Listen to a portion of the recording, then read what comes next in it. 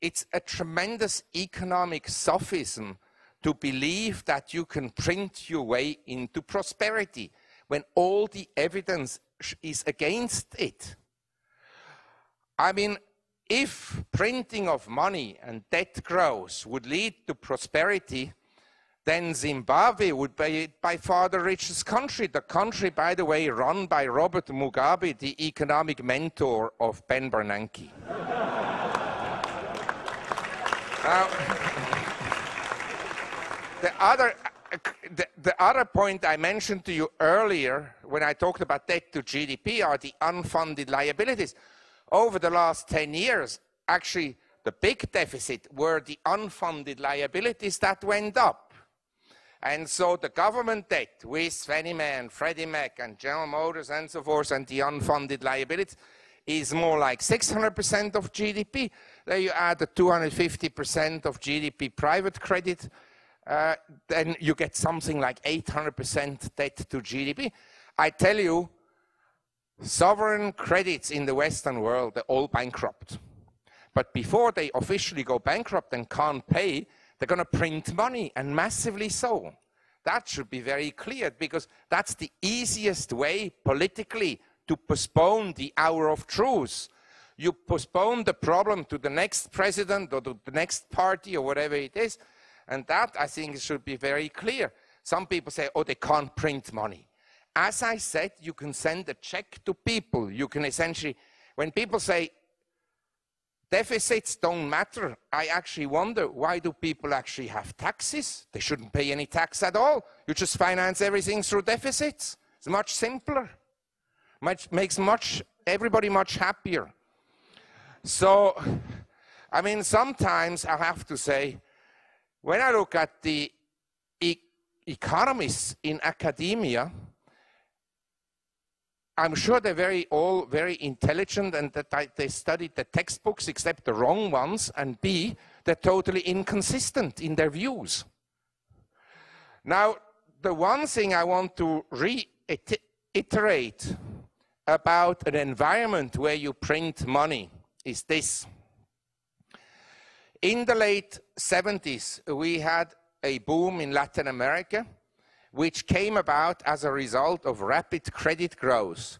Credit came to Latin America via the OPEC surpluses that were channeled through American banks into Latin America.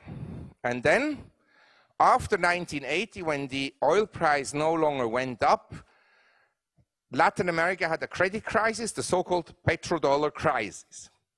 And the Latin American governments reacted like the US government in the last two years. They created large fiscal deficits and they printed money. So what then happened is this. The currency, and I, here I take the example of Mexico. The currency of Mexico collapsed between 79 and 87 by 95%. So if you were unlucky and you bought Mexican pesos here, or you were a Mexican and you held Mexican pesos here, then obviously you lost 95% of your value compared to at the time the US dollar was a strong currency. Now, what was the best way to actually survive this period of rapid uh, currency depreciation?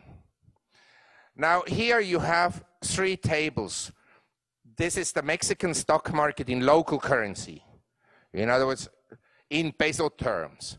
This is the Mexican stock market in dollar terms, and this is the performance of the Mexican fund, which is run by a fund manager.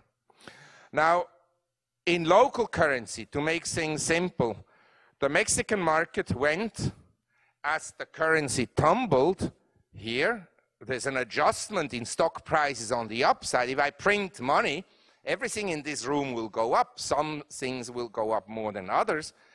But the currency goes down. So as the currency went down, stocks in nominal terms or local terms went up.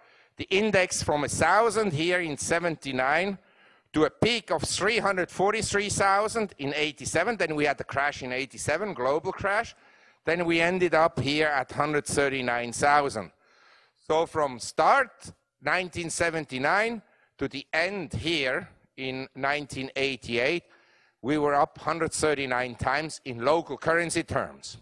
But of course, in dollar terms, the situation looked different because, as I mentioned, the currency collapsed here completely. So what then happened in dollar terms is this.